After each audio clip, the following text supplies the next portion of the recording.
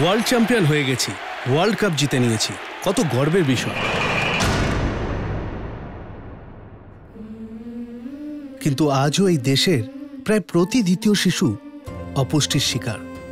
এটা গর্বের বিষয় নয়। অপুষ্টি অর্থাৎ সঠিক পুষ্টি না পাওয়া। গর্ভধারণ থেকে জন্মের প্রথম দু বছর শিশুদের মধ্যে বিপদের সম্ভাবনা সবচেয়ে বেশি হয়ে থাকে।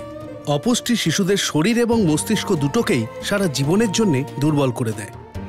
আর যদি শিশুরাই মজবুত না হয়, তবে দেশ কি করে মজবুত হবে? আসুন সবাই মিলে এই বিপজ্জনক শত্রুর বিরুদ্ধে যুদ্ধ ঘোষণা করি।